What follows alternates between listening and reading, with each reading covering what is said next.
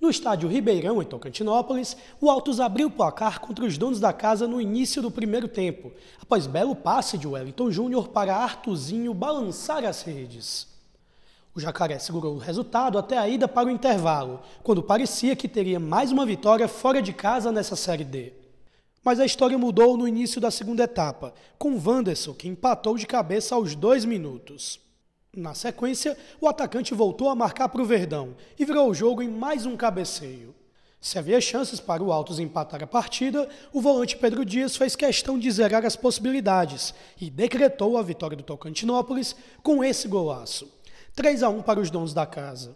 No pós-jogo, foram poucos minutos até a diretoria Alviverde comunicar nas redes sociais que o técnico Flávio Araújo, o preparador físico Renan Barros e o preparador de goleiros Wellington Teles não fazem mais parte do Jacaré, que dormiu na vice-lanterna do grupo 2 dessa Série D com mais uma derrota.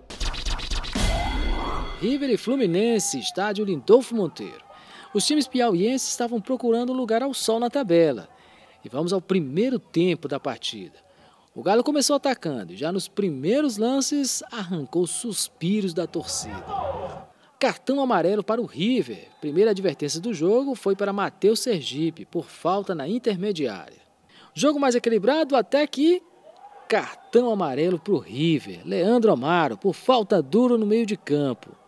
A cobrança de falta ficou por conta do Gabriel, que assustou o gol riverino. O segredo do vaqueiro era pela direita. Dadinha cruzou o rasteiro e Luanderson desviou para o próprio gol. Gol para o Fluminense.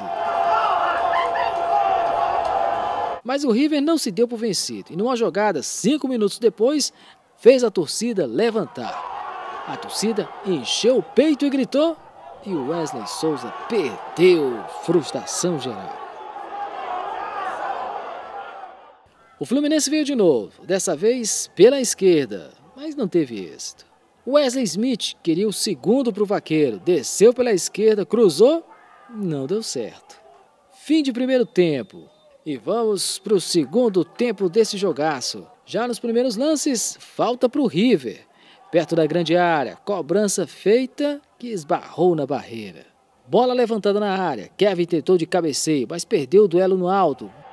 O Galo insistiu no rebote, mas a zaga do Fluminense afastou mais uma vez. Pressão riverina. E mais uma chance desperdiçada pelo Galo. Iago arriscou o chute da entrada da área. João Manuel não alcançou e ela passou com perigo ao lado do gol do Fluminense.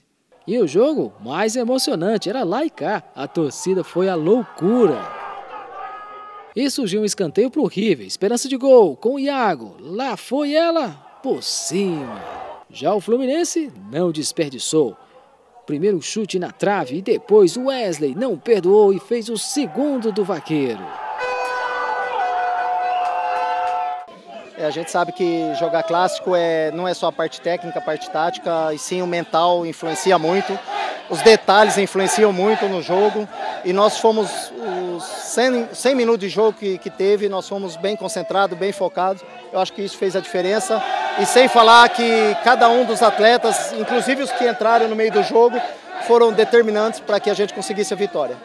Quem estava feliz mesmo era o Wesley, que a cada jogo vem marcando. Individualmente estou muito feliz, né? Primeiramente, glória a Deus. É, feliz né, pelos gols, por estar ajudando o Fluminense. Mas isso é fruto de muito trabalho. Você pode ter certeza que eu venho trabalhando muito durante a semana. Para que quando aparecer as oportunidades, acho que eu tive duas no jogo. Uma na trave e a outra tive a felicidade de fazer os gols. E é isso aí, mas o mais importante é os três pontos, né? E a gente está lá na, na ponta de cima na tabela e é manter. Para o técnico do River, é hora de levantar a cabeça e trabalhar o psicológico do elenco. Às vezes tem coisas que não tem explicação, né? A gente treinou bem a semana, a gente né, foi uma semana bastante produtiva.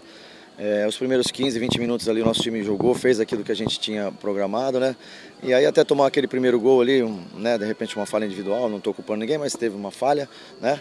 E aí o time caiu, o psicológico foi lá embaixo, né? Jogamos o, o, o primeiro tempo ali, os últimos 20 minutos ali com o time deles pressionando, né? No segundo tempo eu arrumei, troquei ali três peças ali, o time cresceu mas infelizmente estava bem postado, né? A equipe do Fluminense ali, bem, bem defensivamente, saindo rápido nos contra-ataques, né? Que é, que é o grande forte do, do time deles. E infelizmente tomamos o segundo gol, né? Eu acho que É, todo mundo queria uma vitória, claro, mas infelizmente ela não veio dessa vez.